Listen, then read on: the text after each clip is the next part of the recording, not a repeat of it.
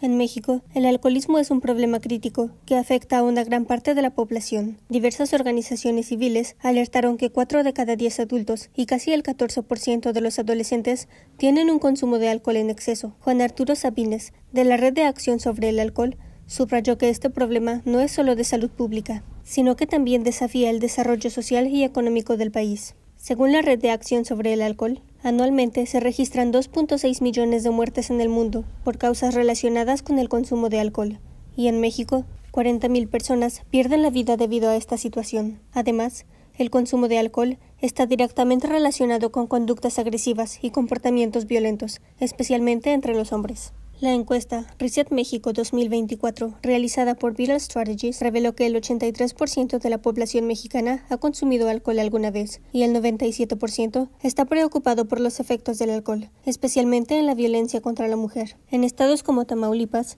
el 54% de las llamadas de mujeres denunciando violencia doméstica indican que el agresor había consumido alcohol.